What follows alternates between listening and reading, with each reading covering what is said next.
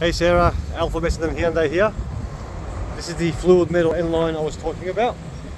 So this car is literally brand new um, with 1,500 Ks.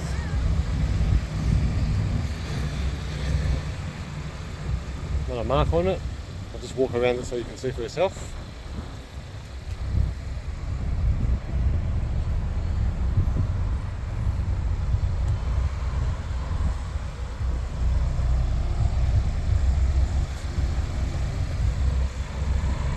Show you the build date.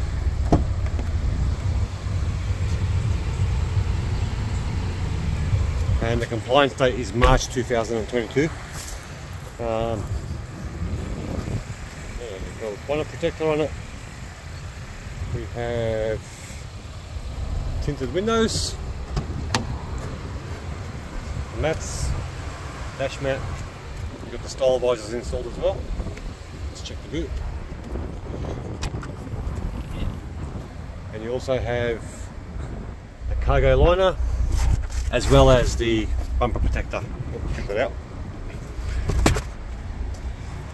I'll show you the dashboard so you know how many Ks it's on. 1551 as it stands.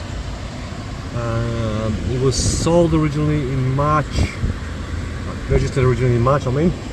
So the first service will be due in April 2023, which is around about when the registration also expires.